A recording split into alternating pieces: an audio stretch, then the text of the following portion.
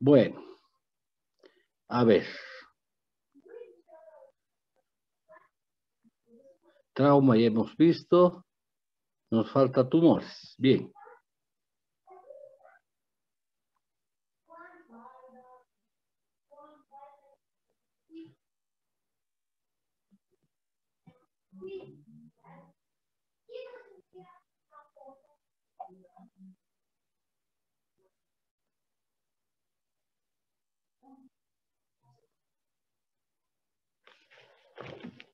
No,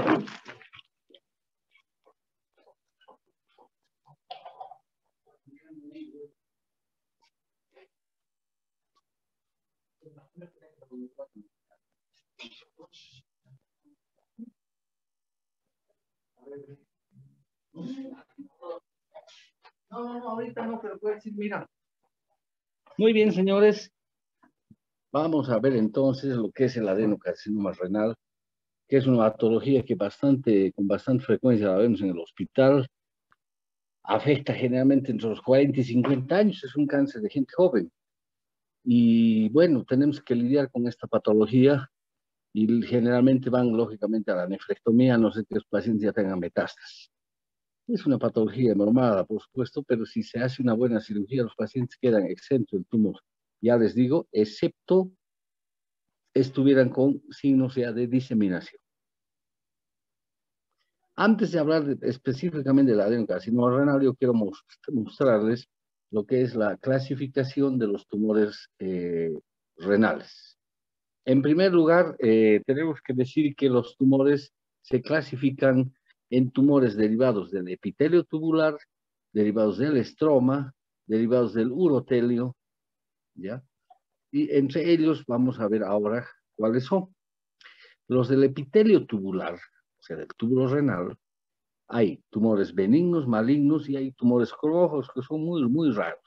Los benignos son los adenomas, son cositomas o adenoma metanésico. También, yo les digo, eh, excepcionalmente se podría diagnosticar un tumor benigno eh, en forma clínica y con laboratorio y con tomografía. Habitualmente eh, son hallazgos finalmente, ¿ya? Eh, muy raro además encontrar este tipo de tumores. Lo más, lo más frecuente es tumor, encontrar tumores malignos. de los tumores malignos tenemos carcinoma de células renales, el, el, el, convencional común que es el de células claras que vamos a ver enseguida, y el tumor papilar, papilar los homófobos del túbulo colector y de tumores que no pueden ser clasificados en ninguna de estas categorías. Los tumores derivados del estroma, del parénquima mismo, ya no del epitelio, son tumores benignos y tumores malignos también. Los benignos tenemos el fibroma, lipoma, leiomiosarcoma. Al final vamos a ver lo que es el leiomiosarcoma, que alguna vez se puede diagnosticar clínicamente. Este sí, porque tiene una característica especial que después les voy a decir. Y los malignos, fibrosarcoma, liposarcoma, rabomiosarcoma, que son tumores raros, ya les digo, son tumores bien raros. Y finalmente tenemos los tumores derivados del, del urotelio, perdón, es decir, del epitelio del, de, la, de vía excretora, o sea, del epitelio transicional. Tenemos carcinomas de células transicionales, escamoso o el adenocarcinoma. El adenocarcinoma. Y finalmente tenemos los tumores derivados del tejido embrionario, que es el más representante, el tumor de Wilms, que es el tumor propio de los niños. Generalmente en los niños se descubren estos tumores y en ellos se hace el tratamiento. Miren ustedes eh, cuál es eh, la, cantidad, la mayor cantidad de tumores son adenocarcinomas, el 82%. El resto, en menos cantidad, un urotelio 2%, leiomiosarcoma, Wilms, diversos, etcétera, son muy poca la cantidad de tumores que existen. Lo que más van a encontrar, lo que más van a encontrar es este. Los tumores que son adenocarcinoma, que es lo que vamos a ver casi siempre.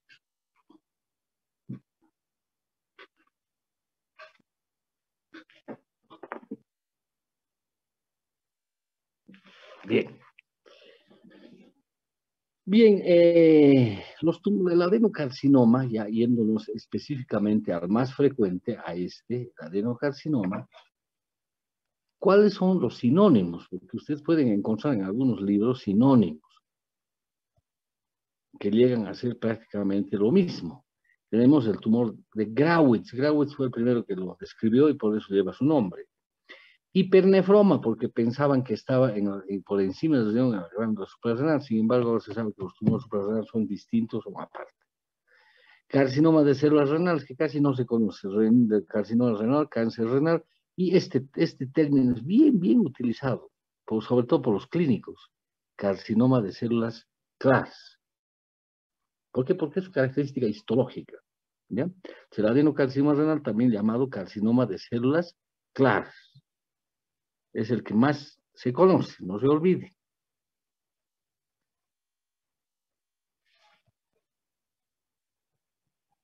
Entonces, ¿cómo definimos un adenocarcinoma renal? Como un tumor macizo, redondeado, encapsulado, y que se localiza primordialmente en el polo superior, pero eso no quiere decir que no se localice en el seno renal o en el polo inferior. Puede suceder en cualquier, pero más frecuentemente en el polo superior. Y, lógicamente, conforme va creciendo el tumor, aparecen zonas de reblandecimiento, de necrosis tumoral y de hemorragia. Miren, la epidemiología, en Bolivia no tenemos un dato epidemiológico, pero sabemos que casi 30.000 casos son diagnosticados anualmente en Estados Unidos. Bueno, es una gran población, lógicamente, ¿no? 140 mm, millones de habitantes, pero hay una buena casuística y con más de 11.300 muertes. Y la edad promedio, esto es lo importante, 40 a 50 años. Pero puede aparecer, por supuesto, en personas de más edad, es evidente. Pero yo a muchas personas de 45, de 50, 55 años con cáncer renal. Los hombres son más afectados en una relación de 2 a 3 a 1. Y más en la raza blanca y más en los judíos. Eso dice la estadística.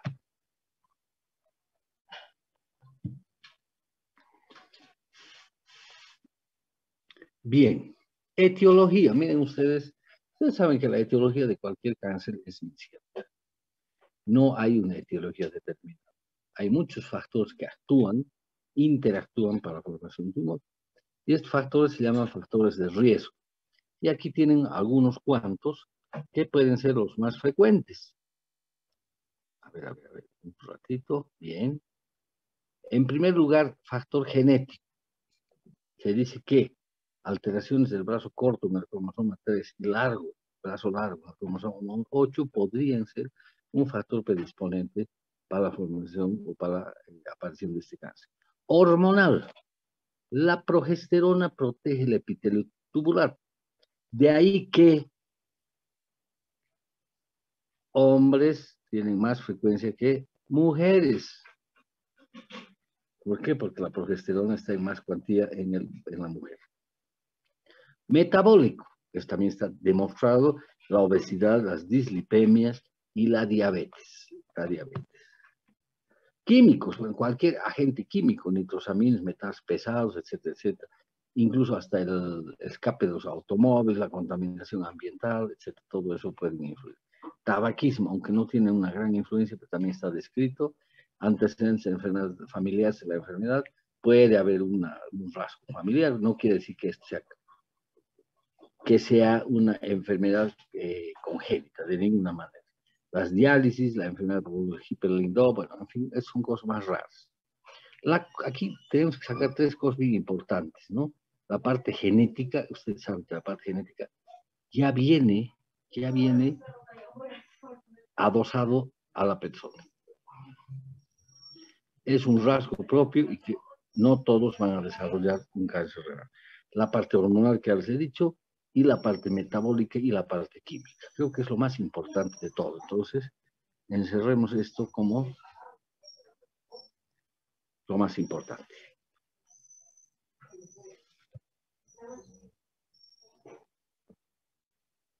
Bueno, es una patología de origen tubular, epitelio tubular, crece a expensas del tejido perinefrítico, no posee cápsula propia, es una cápsula prestada, si va del ¿no?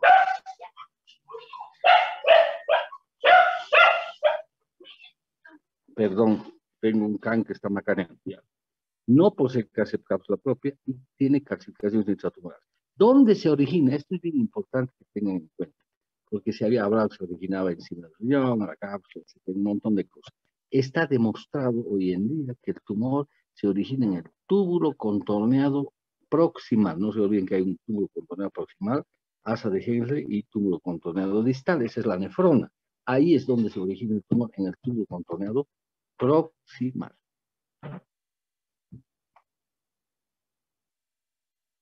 Bien. De acuerdo a sus caracteres celulares, patológicamente puede ser un tumor papilar, insular, trabecular o tubérculo quístico. Y de acuerdo a sus características histológicas, puede ser un tumor de células claras, granulosas, sarcomatoide mixto o un tumor oncocítico. De todo esto, de todo lo que están viendo en esta diapositiva, no se olviden esto. Esta es la característica más importante y más frecuente. Es un adenocarcinoma, tumor de células claras.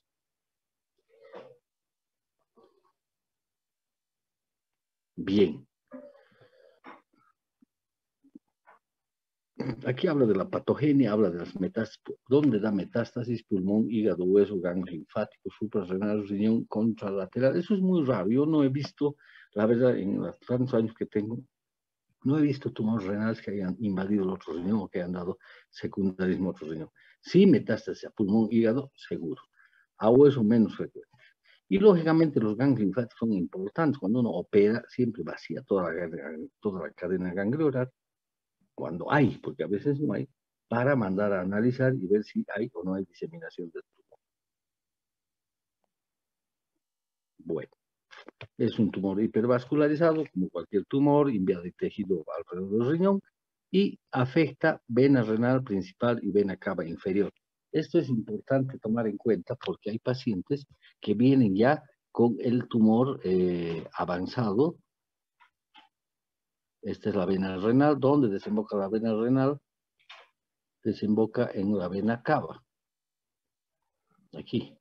A ver, a ver, sal de acá, por favor, a la vena renal, a la vena cava. Entonces, ¿qué sucede? A veces hay, se forman trombos tumorales, trombos tumorales, con amarillito lo vamos a pintar, que pueden invadir incluso hasta la vena cava.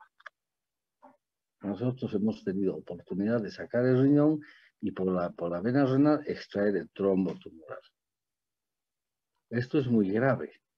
Cuando hay trombos tumorales hay lógicamente peligro de producir una trombosis hacia pulmonar o una trombosis cerebral o un infarto por diseminación de los pequeños trombos.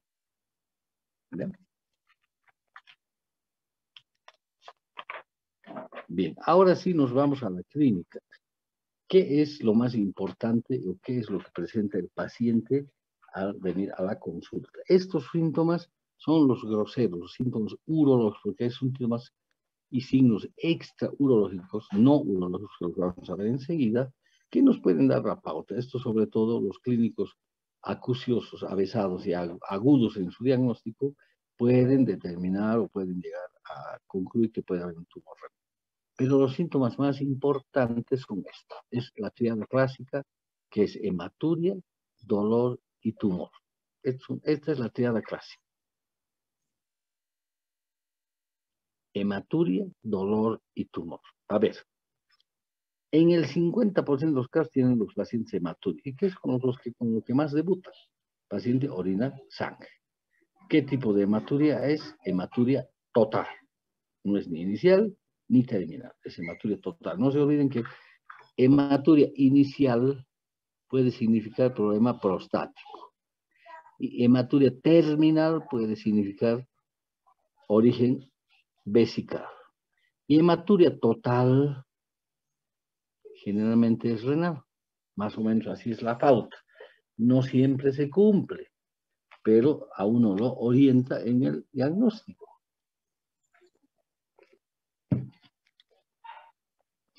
Y otra cosa bien importante, que ya no es, ya no es la triada clásica, que es el varicocele de aparición brusca. Eh, si hacemos una rememoranza, a ver, a ver, a ver, ahí. estoy haciendo cualquier cosa menos lo que debo hacer. Em, el testículo, que está acá abajo, drena, tan, o sea, está irrigado por la arteria espermática. La espermática viene de dónde? Viene de la aorta directamente. Y drena por la vena espermática. Y la vena espermática también drena en la vena renal, en el lado izquierdo. Y en, directamente en la vena cava, aquí está la vena cava, en el lado derecho. es la vena renal que desemboca en la vena cava. ¿Ya? Bueno, generalmente el varicocel es izquierdo. ¿Por qué? Porque hay una confluencia de fuerza aquí en el drenaje venoso. Por un lado, la sangre que retorna del testículo, en este sentido. Por otro lado, la sangre que viene del riñón, en este sentido. Y por otro lado, aquí baja pues otra vena, que es la vena suprarrenal. Entonces, por acá hay otra fuerza que drena en este sentido. Son tres fuerzas que se chocan ahí, que, que confluyen en este punto. Y lógicamente la que tiene de perder es esta, la que viene del testículo. Por eso el lado izquierdo es el varicocele más frecuente. Estoy hablando de, por, por adelantado porque esta patología la vamos a ver con más detalle. Y la aparición es lenta, no es brusca, primero. Y segundo, el varicocele es pues, de los changos, los jóvenes, adolescentes, jóvenes, no de la gente adulta mayor, 40, 50 años, poco probable. Bueno. La aparición de un varicocele de forma brusca, de un día para otro, de unos días para otros, ¿qué puede significar? Sobre todo si aparece en el lado derecho, que es poco frecuente el varicocele, ¿qué puede significar? Puede significar que hay alguna masa que está comprimiendo esta vena o a esta otra. ¿Y qué masa puede ser? Un tumor renal, por ejemplo. Entonces, por eso se dice varicocele de aparición brusca. Es un signo indirecto de que nos está diciendo algo está obstruyendo de arriba que no está dejando un retorno venoso adecuado. ¿Hasta aquí me han entendido? Sí, doctor. Ah, claro, bien. Hay algo que no me entienden, por favor me han de preguntar, porque si no, no puedo correr así. ¿Cuáles son los síntomas extraurológicos? Los síntomas extraurológicos son los que no tienen nada que ver con la parte urológica, por supuesto. ¿Ya? Entonces, primero, tenemos los síntomas por metástasis. Un paciente que tiene dolor torácico puede tener una metástasis tumoral, adenopatías, sobre todo a nivel retroperitoneal, porque las adenopatías no aparecen en su lado, edema de miembros inferiores. ¿Por qué habrá edema de miembros inferiores? Porque hay una masa que comprime el retorno venoso, obviamente, y el retorno linfático. Fracturas patológicas. Entonces hay que pensar en una metástasis de venosa. Esos son los síntomas por metástasis. Síntomas paraneoplásicos, ahora son los que están junto con la neoplasia. Pueden ser específicos o pueden ser inespecíficos específicos que son humorales o endocrinos. Miren ustedes, si hay aumento de sustancias asociadas al riñón, tenemos, por ejemplo, aumento de la renina, ¿qué ocasiona? Hipertensión arterial. Aumento de la eritropoyetina, eritrocitos, lo que llaman poliglobulia, ¿verdad? Prostaglandina E, hipercalcemia, prostaglandina E, a hipotensión. Entonces, un paciente que debuta con hipertensión arterial de la nada, al ser estudiado, ¿qué hace un médico internista, un médico general, cuando un paciente tiene hipertensión? Le hace un estudio completo. Y entre ellos le hará seguramente ver cómo está la renina, que eso se puede medir, y lógicamente probablemente le va a hacer una ecografía donde ahí va a saltar la presencia de la masa tumoral. Lo mismo con la eritrocitosis lo mismo con una hipercalcemia o una hipotensión. Ya les digo, estos síntomas o estos signos son muy sutiles. Entonces tiene que ser un médico muy agudo, muy pensante, el que, el que razone y diga que algo está pasando, no está normal.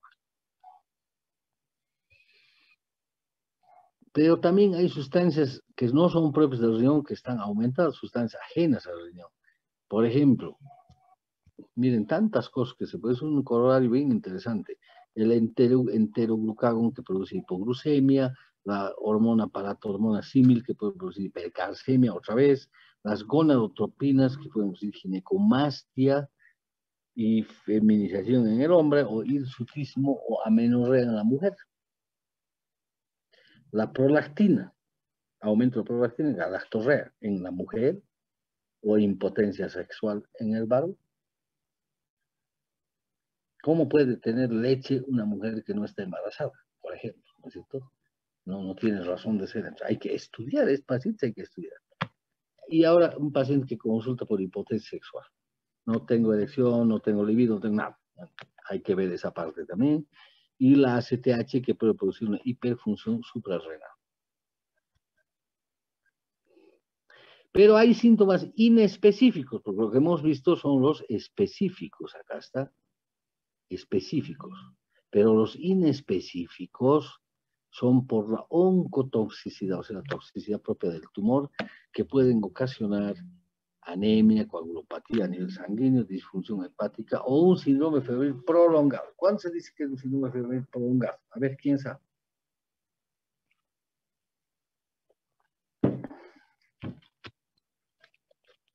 Pregunta clínica que tienen que saber.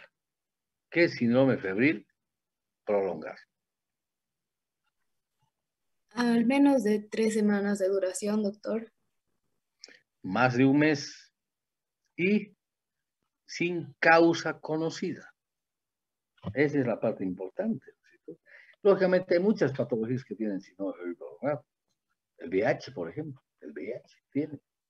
Entonces, más de un mes de duración, más de tres semanas, como quieran, sin causa conocida. Ustedes le han hecho cultivo de esto, de lo otro, de aquí y allá, y no le encuentran un foco.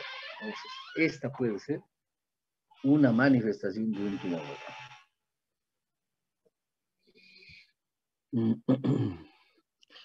Lógicamente, a nosotros, ¿cómo nos llegan los pacientes? ¿Creen que llegan con esto?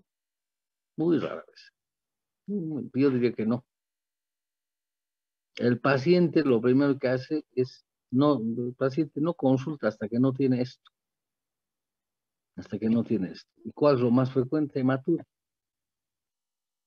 Y esto no les especificó bien. El dolor, dolor renal puede ser cólico o gravativo. ¿Qué es, ¿Qué es, qué es dolor gravativo, muchachos? ¿Saben?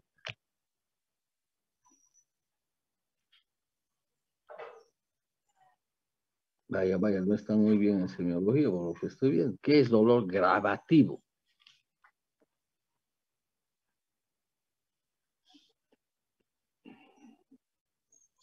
Sensación de peso, pues, gravativo, dolor de pesado. Siento un peso en mi espalda, es lo que dice el paciente. ¿ah? Y es por volumen tumoral. Y el tumor, 20%, que es, es, menos, rara vez es que se llegue a demostrar o se pueda palpar un tumor renal, porque ustedes saben que el riñón está detrás del, está en el retroperitoneo y no se puede eh, no se puede palpar así, nomás tienes un tumor muy grosero para que se pueda palpar.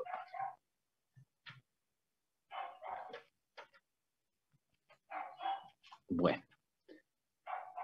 Entonces el paciente ha llegado a la consulta y ustedes van a hacer el diagnóstico. ¿Cuál será el primer elemento que pedirán ustedes para hacer diagnóstico?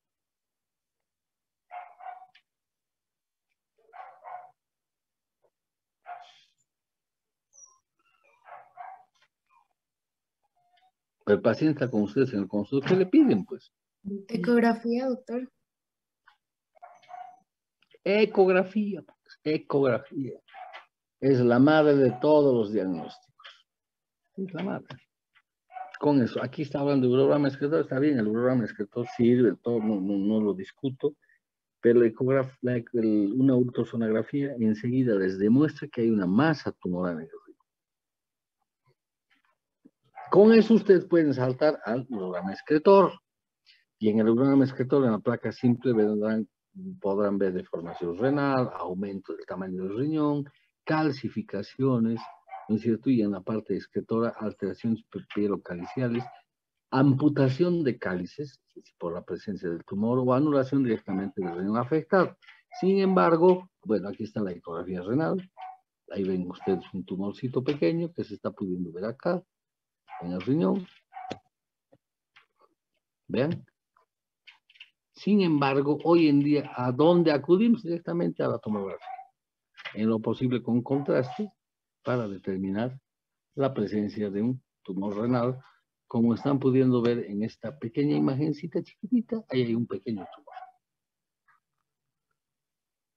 del riñón derecho. Y lógicamente en la tomografía no solamente van a ver el, tumor, sino si el tumor está invadiendo órganos vecinos, si el tumor tiene metástasis ganglionales, si el tumor tiene trombos en la vena renal que vaya a afectar la vena cava, en fin. Entonces es muy importante hoy en día hacer una buena tomografía. Aquí pueden ver varias tomografías donde van a ver tumores renales de todo tipo. Aquí hay uno, aquí hay otro, aquí hay otro. Y fíjense que en el medio hay zonas negras que son zonas de necrosis tumoral. Aquí se ve un pequeño tumorcito, ¿ven? Entonces, la tomografía es muy útil y lógicamente concluir. Aquí hay otra tomografía donde se verá un gran tumor del riñón derecho esta cosita me está fastidiando. ¿Ya? Aquí, miren, es un tumor grande, el riñoncito está por detrás, apenas, una lengüeta. Lo mismo aquí, fíjense, ese tumor renal tan grande que se ve. Esto es sacado de, de, internet seguramente, pero miren ustedes, todo esto es tumor. Y esto de aquí atrás es el riñoncito. El riñón izquierdo normal, no tiene nada.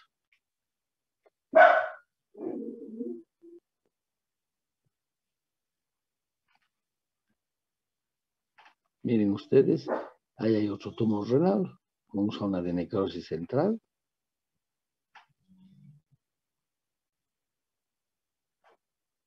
Miren ustedes, ahí. Y aquí hay una área más oscura que es necrosis.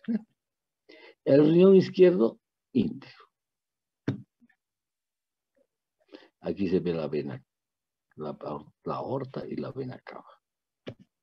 Aquí se ve parte del pedículo de este otro riñón que está acá. Pero trombo ahí no se ve. Este es un paciente a nuestro, fíjense, un gran tumor en el riñón izquierdo.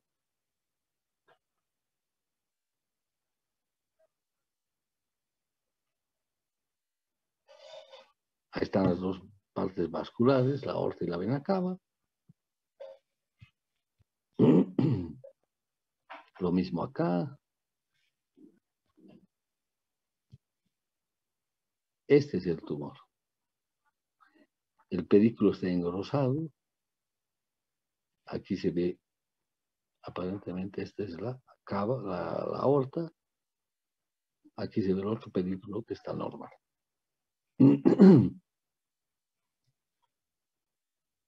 Lo mismo acá. riñón izquierdo. Miren ustedes ese tumor enorme, gigante. Alguna vez se puede acudir a la arteriografía renal para ver el mapa vascular en caso de que fuera un paciente, por ejemplo, monorreno y que tengamos que hacer una nefrectomía parcial. Diagnóstico diferencial con cualquier más, quiste, absceso, tuberculoma, o sea, tuberculosis, o la hipertrofia, esto es bien importante, no hemos hablado, ustedes se acuerdan, que hemos hablado de malformaciones congénitas. Bueno, la hipertrofia compensadora puede confundirse y la lobulación fetal, acuérdense, el riñón normal es así. Un riñón con lobulación fetal puede tener una jiba aquí, como dromedario, o riñón dromedario, que puede fingir un tumor y solamente es una lobulación fetal. Tampoco hay que dejarse llevar. O sea, hay que tener mucho tino, por eso es mejor hacer la pilografía o la tomografía con contraste, para determinar exactamente si es o no es un tumor.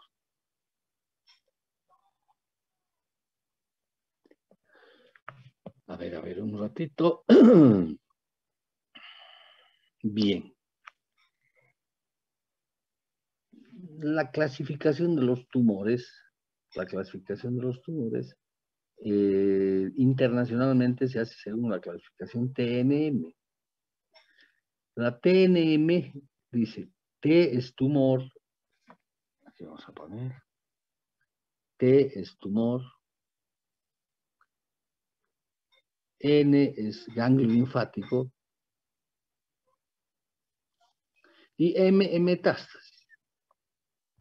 Entonces, estas clasificaciones son un poquito más complicadas, pero son las que se usan actualmente. Sin embargo, aquí yo tengo una clasificación y tengo la TNM por ahí que les voy a mostrar.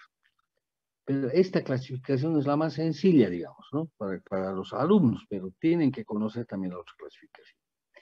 Y dice que el tumor se clasifica en cuatro etapas, según esta clasificación.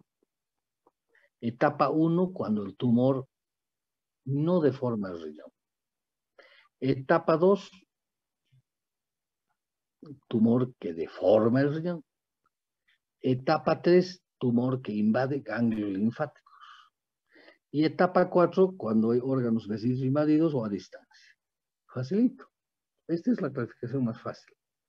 Entonces, repitamos.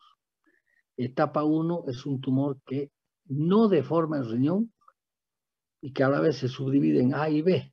A, cuando el tumor está rodeado. A ver, espérenme un momentito, voy a hacer una lapicerita. Bien.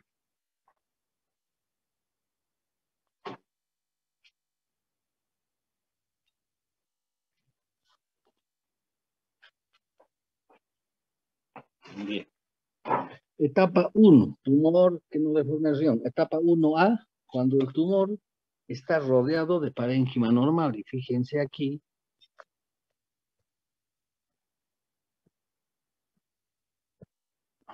No, ¿con qué color vamos a hacer? Con azul. Con azul. Este es el tumorcito y está rodeado de parénquima renal normal. Y el tumor en etapa 1B ya es un tumor que ya está tomando contacto con la cápsula renal. Es diferente uno de otro. Es más avanzado que el otro, obviamente. Etapa 2 es el tumor que ya deforma el riñón. En la etapa 2A deforma el riñón, pero no invade la grasa perirrenal. Etapa 2B, aquí ya miren, usted está invadiendo la grasa perirrenal. Aquí, perdón, aquí. Ya está saliendo prácticamente. Bien. Etapa 3, el tumor invade los ganglios linfáticos. Eso ya es más grave, ¿no? Si ya está más diseminado, le damos etapa 3, entonces que afecta. Etapa 3, A, B, C. A afecta a la vena renal. B afecta a los ganglios linfáticos. O perdón, a ver de nuevo. A, a ver, a ver, a ver, a ver, un ratito. Etapa 3, el tumor afecta a la vena renal principal o a la vena cava inferior. Etapa 3A. Etapa 3B ya invade los ganglios linfáticos. Y la 13 invade ganglios y venas. ¿Me entienden? Entonces, etapa 3, la etapa 3A invade solo vasos. La etapa B, ganglios. Y la etapa C, ganglios y vasos. Bueno. Y finalmente, etapa 4, cuando ya hay metástasis. Puede ser local. ¿Qué es local? Metástasis por hemorragia derecho que haya invadido el hígado. Y la etapa 4B, ya metástasis a distancia. Pulmón, hígado, hueso, etcétera, etcétera. Bien. Y de acuerdo al estadio, ¿cuál es el tratamiento? El tratamiento es la nefrectomía radical casi en todos los estadios del 1 a 4A.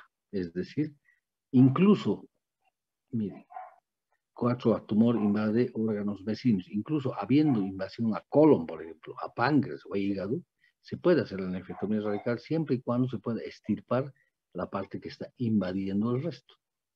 Pero cuando es una invasión muy grosera, a veces nos puede, ya, no, ya nos puede extirpar.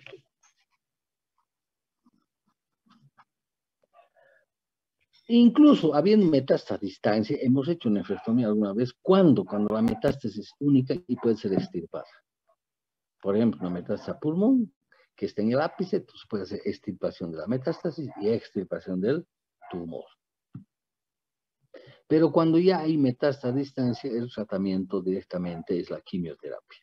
Y hoy en día la quimioterapia no solamente el cisplatino, el, la, la sino también están los anti, hay medicamentos que se llaman antiangiogénicos, que son los que hoy se usan, antiangiogénicos.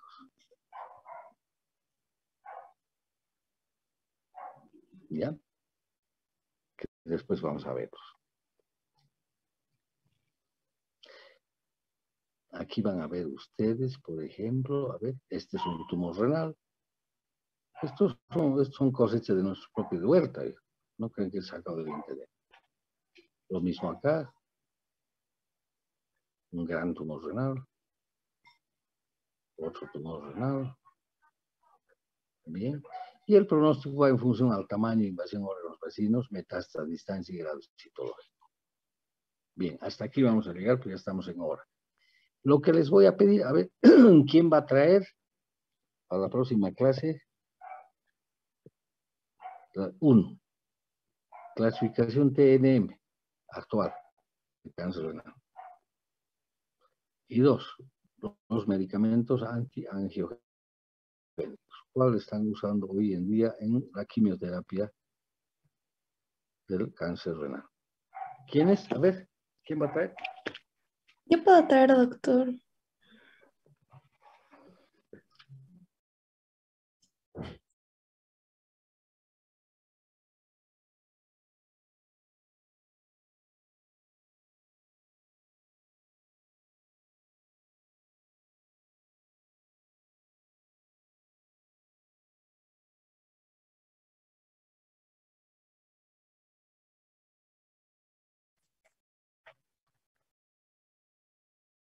Bien. Se ha cortado, pero he vuelto. ¿Me escuchan? Sí, doctor. Bueno, pues vamos a elegir entonces, que no hay voluntarios. A ver, ¿quién puede ser? Vamos a ver. Voy a hacer así. Ahí, listo. Vamos a ver si están. Están, pues, ¿no es cierto? Paola Hinojosa, a ver. Sí, doctor. Ya. Paola Hinojosa va a traer la clasificación TNM. Y Ana Ruth Velázquez Canchi va a ser los antiangiogénicos. Ana, Ana Ruth Velázquez. Doctor, no se le escucha bien. ¿Será que podría decir un poquito más alto? ¿Quién me ha hablado? Yo, doctor. No, hombre, pero pues yo no sé por qué Ah. no los estoy viendo. Ana, Ana Ruth. Ya, tú vas a traer entonces, ¿cuáles son los medicamentos? Simplemente antiogénicos, una diapositiva, este, este, este, este, este. Voy a anotar más bien para que no me olvide los nombres de ustedes. Eh, Ana Ruth, ¿qué eres? Velázquez Canchi. Velázquez. Ana Ruth y Paola Hinojosa, ¿dónde está? Aquí, doctor. Ya. Entonces, Ana Ruth trae los antiangiogénicos y, Ana, y Paola Hinojosa trae la clasificación TNM en cuadrito. ¿Entendido? Sí, doctor. Listo. Aquí terminamos la clase. Vayan a hacer su clase de, de neurología. Hasta el martes, muchachos. Hasta luego, doctor. doctor.